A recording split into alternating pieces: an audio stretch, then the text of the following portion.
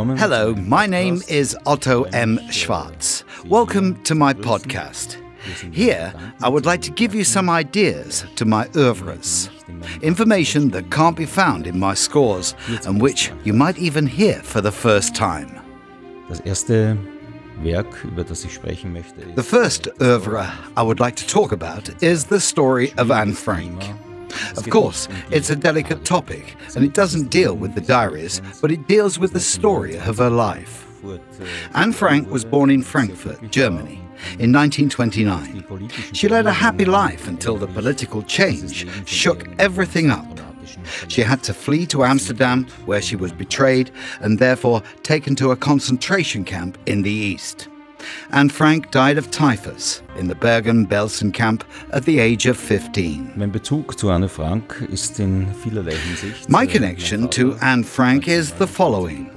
As my father was born in 1929, I remember his childhood pictures, which are similar to those of Anne, although my father was a boy. But it is hard to see a difference in pictures of the 1920s, as they look mostly the same. And then there are those people neglecting the truth nowadays. In many schools, the diaries of Anne Frank are not dealt with, as we cannot burden our children with the truth or the brutality of these times. Leute scheinbar nicht zumuten kann. Und indem ich selbst äh, Geschichte As I was studying history, well, let's say I started to, and I'm very interested in it, I have always wanted to write an oeuvre about Anne Frank. Because if people aren't into history, they have to listen to it in my concerts. Denn wenn Menschen sich nicht mit Geschichte befassen, dann bekommen sie es halt von mir beim Konzert und dann müssen sie sich das eben anhören.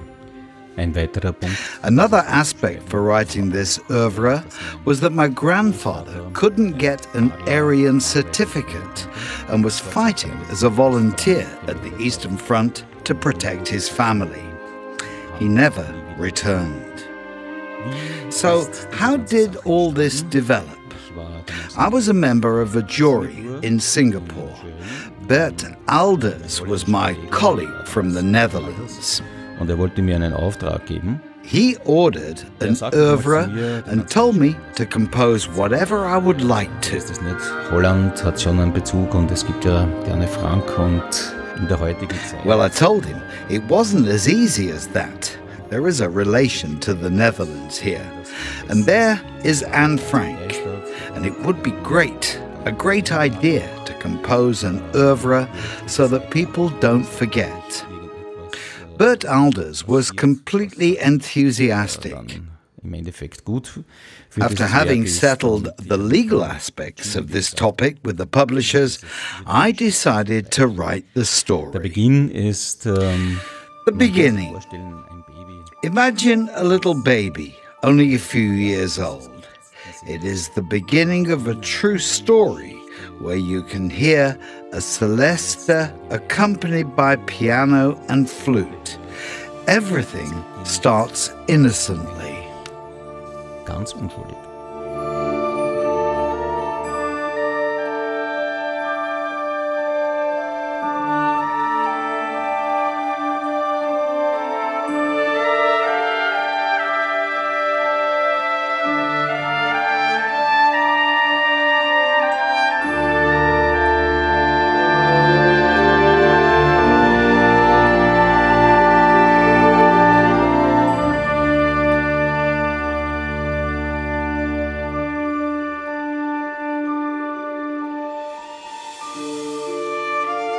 Ab Takt 15 hören wir dann äh, das Hauptthema. Das Hauptthema.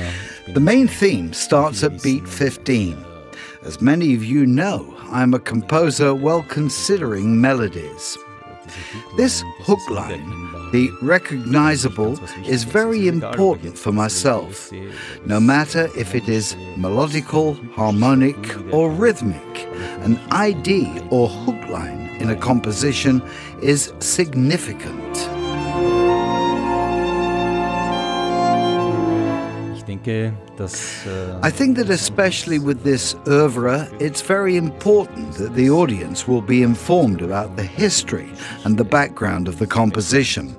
as it is not only dealing with something dreadful, which of course happens in the end. The oeuvre starts with the happy times of Anne, the rows with her sister and her parents, playing ball in the backyard in Frankfurt.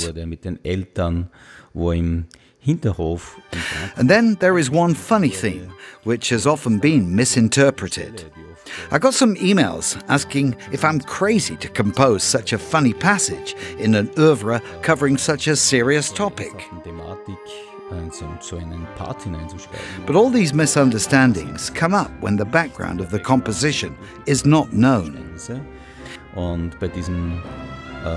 In this 7 8 time, you can hear a ball game, the bouncing on the floor. And when you throw the ball against the wall, it results in odd time beats. You can hear the bouncing and just having fun in this part. diesen Teil zu hören.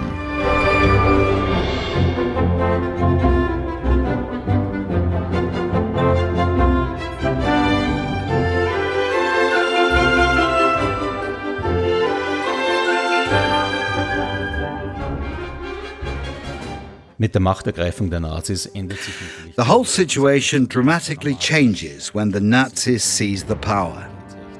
Until this passage, Anne Frank's story was free from troubles and sorrows, as her father was a wealthy businessman. Wohlhabender Geschäftsmann. Mit dieser Machtergreifung With the seizure of power, the march of the SA changes everything.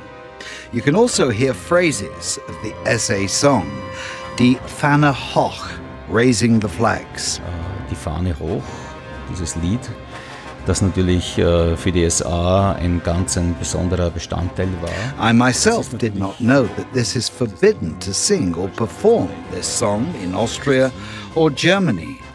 I only got this information while recording the oeuvre. Dear Mr. Schwarz, we cannot record this as it is not allowed to play this song. And it was even more ridiculous as it was the German Bundeswehr, the army, saying that. Well, after some research in various films, the song can be heard as well. In verschiedenen Filmen ist dieses Lied genauso zu hören. I found out that there is a law saying that the song may be used for pedagogic reasons. As in my oeuvre, the song is not meant to be glorifying, but warning. We were allowed to use it in the end. mahnend gedacht und dadurch konnten wir das dann auch ohne Probleme aufnehmen.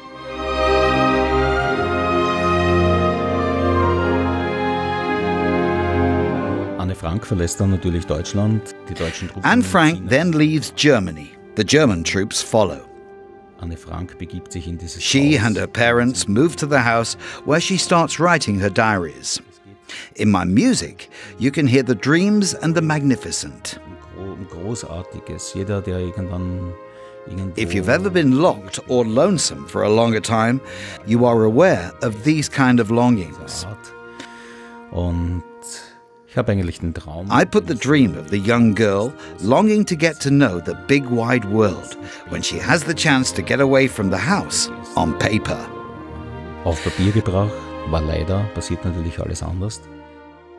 Die Franks werden But nothing like that happens. The Frank family were betrayed, they're deported, and the train leaves to the east.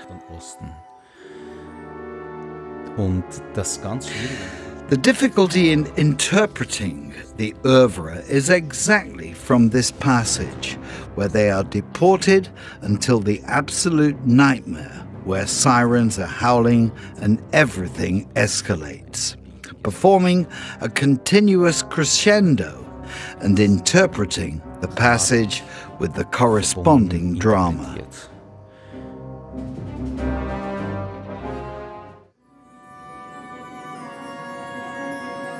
Man stelle sich vor, ein Mädchen Imagine a girl dressed in white is flying reversely to Nirvana, all in slow motion. Es gibt aber einen Überlebenden, das ist Otto Frank. Und Otto Frank, äh, But there is one survivor, Otto Frank. He finds Anne's diaries, her memories, and then he published them and left them to posterity.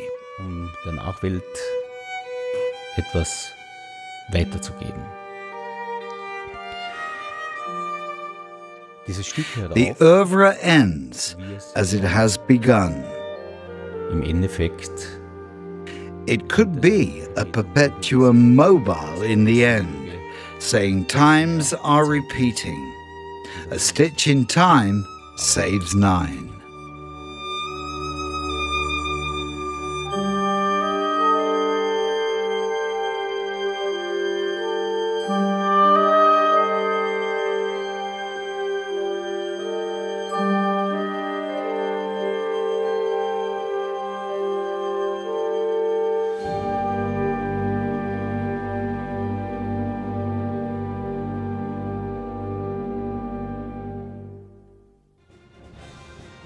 You can find more information on my oeuvres on Instagram and Facebook, on my website ottomschwarz.com, on the Hal Leonard site, bandmusicshop.com, on Spotify, YouTube, and other social media platforms.